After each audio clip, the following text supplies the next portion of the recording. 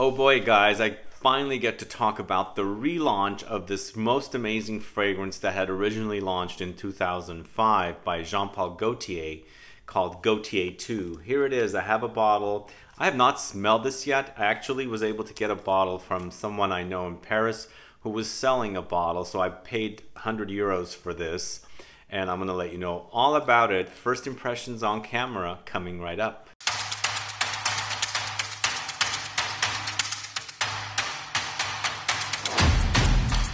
Thanks so much for tuning in. This is Sebastian. Yesterday I'm talking about Gaultier 2 from the house of Jean Paul Gaultier.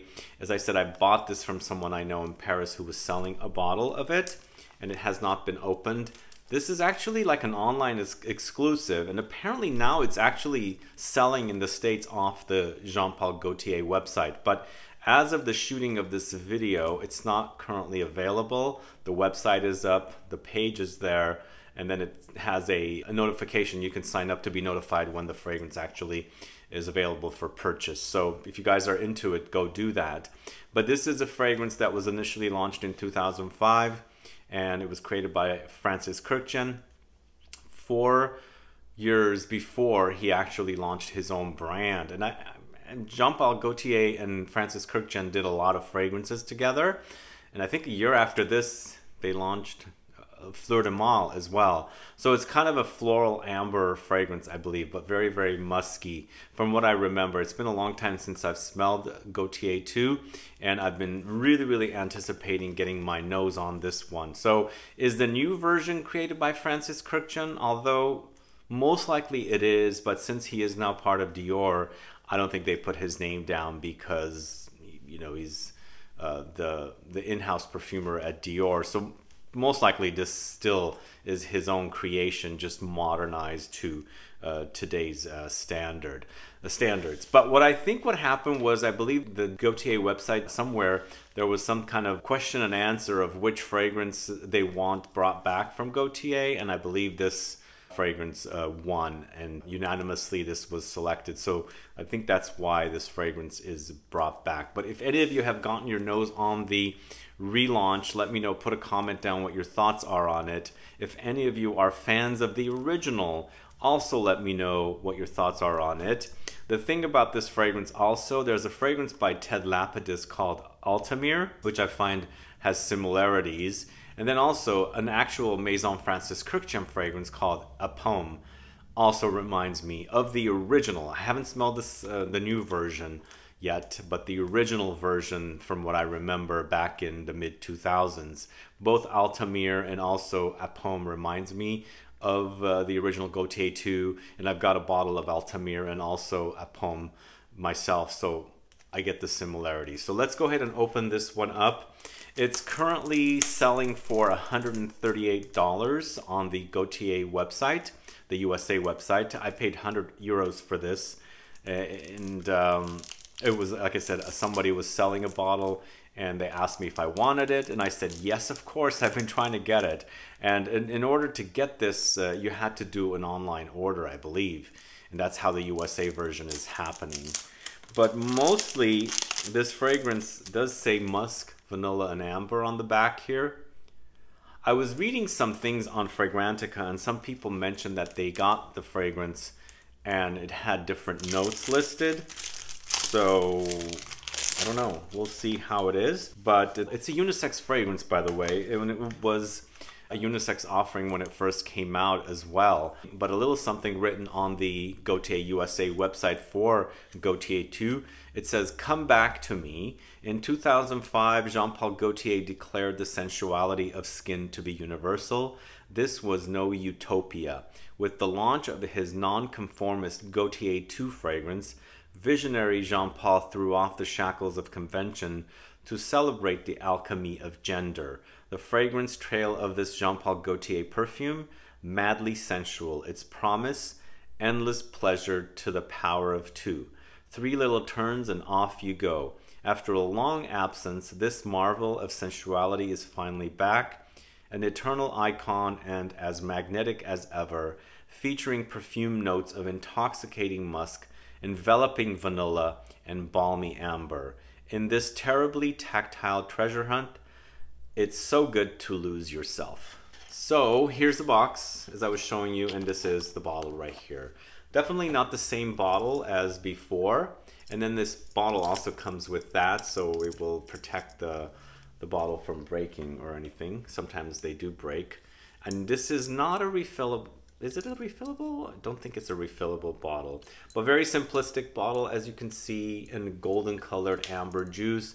The juice does remind me of the color of uh, Grand Soir from uh, Francis Kurkdjian, Maison Francis Kurkdjian. Um, and on the bottom, we've got some information here.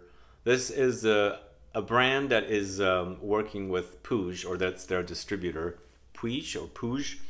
Puig, I guess is how the Spanish say it. Uh, and uh, they uh, they also have brands like Comme des Garçons and Carolina Herrera and various other designer brands. Jean Paul Gaultier doesn't do much clothing anymore. I think he's strictly a fragrance house now. I guess maybe once in a while he does. But let's go ahead and smell this. But the notes are basically musk, vanilla, and amber. There might be some additional notes in this, but that's what they claim.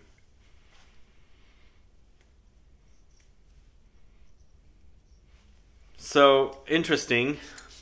I'm needing to spray a little more.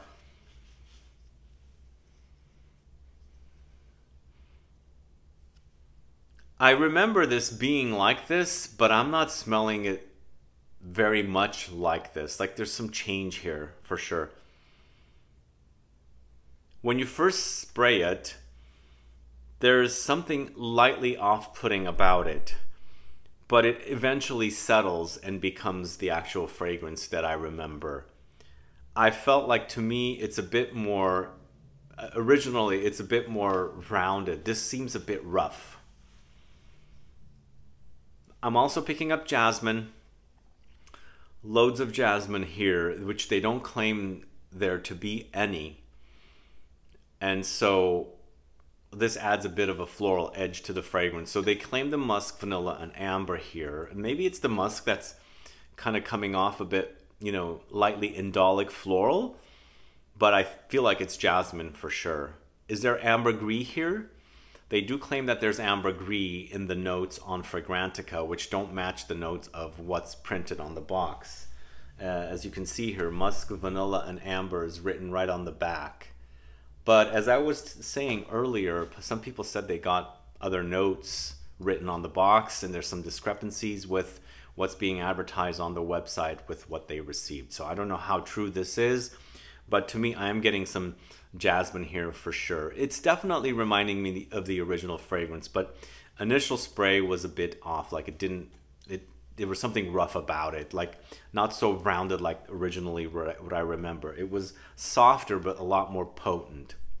So what I'm gonna do now is spray some on and then come back uh, and let you know how it develops on my skin. So let's spray some here and then uh, let's spray some here as well. So a bunch of sprays and I'm gonna pause the video here, come back in a little bit. All right, now that I've had the fragrance on for a few hours, what I'm gonna have to be honest about is this is not reminding me of a very ambery fragrance. It's more like ambergris, whereas the effect might be there, but it's acting more ambergris-like and it's not that warmth that I remember smelling. And maybe back then, when they had created this fragrance in the original bottle with the original formulation, it was a bit more ambery. But when I'm wearing this fragrance, it does have more of an ambergris like amber effect rather than amber created with resins and balsams and vanilla and things like that. To me, it smells better on skin than on the strip, 100%. There was something a bit off putting when I first sprayed it and smelled a bit rough and plasticky rather than well-rounded and authentic notes. But on skin, even with the initial blast, it smelled really, really great. It does smell really, really great, but I'm not getting that really warm, balsamic, resinous, ambery experience. It's more like ambergris, but there is something warm hidden under there, but it doesn't have that kind of effect. Like, let's say, for example, Grand Soir or even a, a, APOM there's very much an ambery effect there and I don't get that here with this fragrance when I'm wearing it. Sure, it does eventually become warmer and warmer when it's settling down and especially on my skin, it warms up with my body chemistry and the warmth of my skin. So it does sweeten up, but it's definitely more ambergris and jasmine and some woody sandal woodiness rather than that whole vanillic musk amber effect that uh, the box actually claims to be right here on here. So further in the development of Gaultier 2, I really pick up the signature touch of the perfumer Francis Kurkdjian in this. And I don't know, as I said, who did this. Most likely he was involved with the recreation because it was his original formula. But most likely the brand has it and they went to somebody else. Or for me, I think that Francis Kurkdjian was involved in the recreation of this. That's why they haven't put the name down because he is now contracted to Dior and he can't work outside of Dior, I believe. Most likely that's the truth of it. But for sure, I get his signature touch here. Definitely from Le Male for the original fragrance he created. And also the fact that it reminds me of APOM. And then uh, the fact that he also created Le, uh, Fleur du Mâle. All of this stuff that uh, he, he has created really kind of, you know, boils down to smelling like his original work in this as well. I feel like this is definitely a bit different than the original, but definitely very similar to the original as well. Something about it is not as ambery as I remember it because I remember it being sweeter and more ambery balsamic with like resins and balsams and vanilla. Here I'm not getting it as much as the original but I'm liking what I'm wearing. It smells really, really fantastic. I'm so glad they brought this back because it is really a great fragrance. It definitely has that whole Francis Kurkdjian touch that I really, really enjoy with the kind of the floral edge and the warmth and everything else connected together. So are there two versions of this fragrance? I'm not 100% sure. Uh, is there one that is actually really musk, vanilla, and amber as the box says? Because here, like I said, I'm not getting it. There's an ambery effect for sure, but I feel like it's the ambergris amber effect rather than amber from the resins and balsams. And very, very much so, loads of jasmine here. It, I'm picking it up, and I think it's this combination of the ambergris and jasmine that kind of reminds me of other uh, fragrances that Francis Kurkdjian has created where he's combining orange blossom and amber and kind of a thing with APOM but really a great release here. I think this is definitely worth having if you like these kind of fragrances. And once it's back on the USA website, was it ever sold or is it just getting ready to be sold? Because I, did, I didn't realize this was being sold on the USA website until someone had mentioned it but this was after I bought this and uh, you know saved uh, my bottle so I can get to a place to shoot it while I'm traveling here in Europe. But either way, I recommend this one. It's definitely a great release. It'll be $138 when it's officially selling on the Jean Paul Gaultier USA website. So definitely worth getting and having and enjoying and kind of, you know, reminiscing of uh, how this used to smell back in uh, 2005 when it first initially launched. Anyway, happy with this purchase. Really enjoy this fragrance and let me know your thoughts on this fragrance. If you've sampled it, if you've been wearing it, what do you think about the original? What do you think about the 2022 version? Are there two versions of this fragrance? I don't really know but maybe I'll buy another bottle. We'll see if there is another version of this. But to me, as I was saying earlier, I think this is more ambergris rather than full on balsamic amber. When you compare the amber in this to something like Grand Soir, uh, it doesn't have that kind of honeyed touch it's amber for sure, but I feel like it's, like I said, it's ambergris. Anyway, those are my thoughts on Gaultier 2. I hope you guys get to try it. And do let me know, as I said, if you have tried this, you've compared the original to this, uh, put a comment down below so I can find out. But either way, guys, thanks so much for watching today's video. If you have any questions or comments, please list below. Please like this video. Please share it. Follow me on Instagram and Facebook. And I'll be back with more videos very soon. Have a good one. Goodbye.